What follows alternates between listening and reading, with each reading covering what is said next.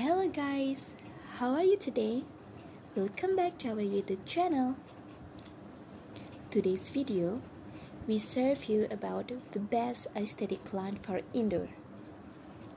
Thus, please watch this video until the end. But before you watch this video, don't forget to subscribe, comment, like, and also share. Alright, so for the plant is usually very beneficial for our house. It can make our house most of the time fresh and also looks aesthetic as well. I believe that most of you guys are aesthetic fans. Thus, do watch this video if you are trying to find an aesthetic plant for your home.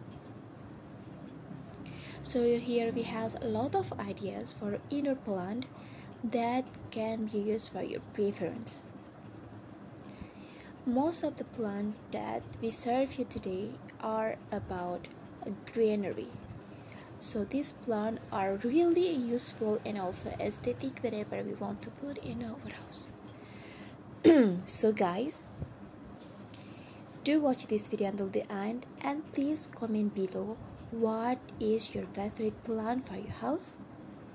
And might be we can also sharing for the better reach of preference for the aesthetic plant for our house.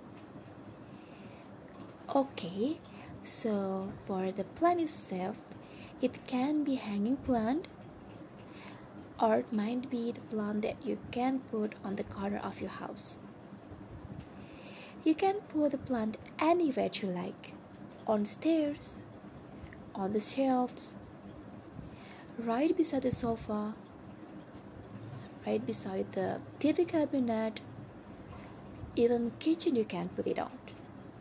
Because for the plant, it has neutral things that we can put on our house, like whatever you want it